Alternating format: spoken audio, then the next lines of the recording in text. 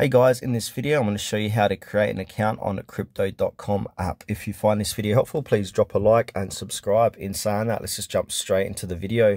Or if you haven't done so already, go ahead and download the Crypto.com app on your mobile device. So this is what it looks like here. So if I scroll down, you'll be able to see it's got 10 million downloads and 579,000 reviews. So this is the correct app that you want to get. Now from there, once you've done that, click on open then you'll be brought to crypto.com's landing page. Just wait for that to load. All right, so as you can see here, you've got create new account or log into existing account. So what you need to do is click on the create new account button and now jot in your email address here. So I'm going to do that quickly. And then you've got an option if you'd like to receive crypto.com exclusive offers and updates. So you can have that ticked or not and then click on create new account. And then from here, you need to verify your email account. So an email sent to tutorials23 at gmail.com. Verify your email with the link to continue.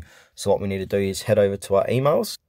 All right, so I'm inside my email account here. So we got crypto.com. Please verify your email. So I'm going to click into that. And now from here, dear valued customer, we receive your request to sign up to crypto.com. Click the button below to create an account. So go ahead and click on create an account here. It's going to open up a web page. And then it's going to redirect you back to the app. And just give that a few moments to load. All right, and now from here, jot in your phone mobile number. All right, once you've um, put in your phone number, it will send you a code and the code automatically will get put into the app. And then from here, you need to set up a passcode. So I'm just going to do a simple one because this is just a dummy account. So set a six digit code.